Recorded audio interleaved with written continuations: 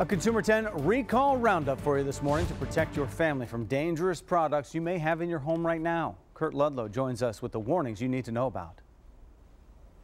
More than 1 million Ford SUVs are under recall for a steering problem. Ford says the Escape and Mercury Mariners could lose steering on the road, causing drivers to lose control and crash. Three fix options are available through dealers, and they will notify impacted drivers.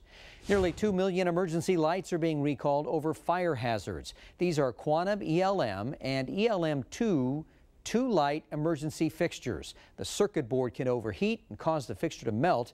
The company will send you a free repair kit. They were sold at Home Depot stores and other stores over the past four years. Some pool sanitation systems are recalled. These are Trident Series 2 ultraviolet sanitation systems. Electrical arcing can cause the units to catch fire. Unplug it or turn off the circuit breaker until you can install a free repair kit.